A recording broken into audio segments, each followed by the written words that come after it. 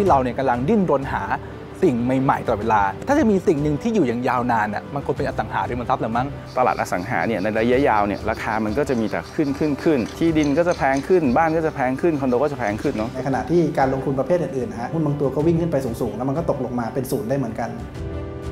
อสังหาริมมีโอกาสอยู่เสมอนะครับ มันมีความยูนิค มีความเจาะจงในทำเล มันใกล้ตัวเรานะครับเราต้องมีความเกี่ยวเนื่องกับมันทั้งจำเป็นหรือไม่จำเป็น ยังไงมนุษย์นะครับก็ต้อง อยู่อาศัยถูกไหมครับการลงทุนในสิ่งที่เป็นที่อยู่อาศัยเนี่ยก็ถือว่าเป็นการลงทุนที่ค่อนข้างจะชัวร์นะครับผมบ้านมันเป็น asset หรือเป็นสินทรัพย์อันหนึ่งที่เราสามารถลงทุนกับมันได้ เพราะมันมี growth ของราคาที่วิ่งขึ้นตลอดเวลาอะไรแบบนั้น คุณจะลงทุนอ่าในสินทรัพย์ประเภทอื่นเนี่ยคุณต้องมีเงินสดไปเล่นทั้งหมดนะฮะไม่ว่าคุณจะเล่นคริปโต คุณจะเล่นหุ้น แต่ว่าอสังหาเนี่ยคุณมีแค่ statement เงินเดือนของคุณคุณก็สามารถ ลงทุนได้ละอสังหาเนี่ยมันค่อนข้างผ่อนต่ำมันสดถึง 30 ปี ยังไงมันก็ถือว่าผลแต่ละเดือนเนี่ยค่อนข้างต่ำอยู่แล้ว เพราะฉะนั้นถ้าถามพี่ว่าจำเป็นต้องมีเงินไหมโอเค มีเงินคือแต้มต่อ แต่ไม่มีก็ทำได้ครับ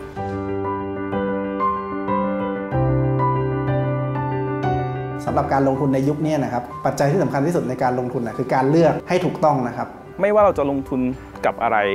จริง ๆ แล้วเนี่ยสิ่งที่สำคัญที่สุดสำหรับพี่ก็คือพี่คิดว่าเราต้องมีความรู้ในตลาดนั้นๆ ถ้าเราเข้าใจ 3 เสานี้ของอสังหาธุรกิจอสังหาริมทรัพย์แล้วก็แบงกิ้งเนี่ยจะทำการเติบโตได้อย่างก้าวกระโดดแล้วก็มีความเสี่ยงต่ำกว่าเดิมครับ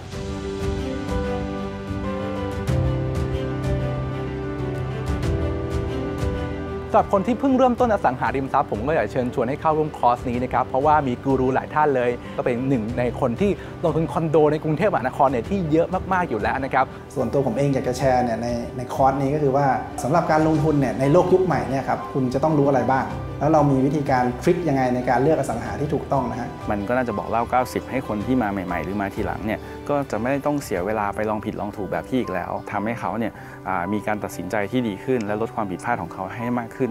สำหรับคอร์สสดราคาหลักพันบาท แล้วก็เจอทั้ง 3 กูรูแบบนี้ผมคิดว่าคุ้มค่ามาก ๆ นะครับ ต้องอย่าลืมว่าสังหาเนี่ยอยู่ใกล้ตัวเรามากกว่าที่คิด ยังไงมาเจอกันเยอะๆที่คอร์สคอร์สนี้ด้วยนะครับ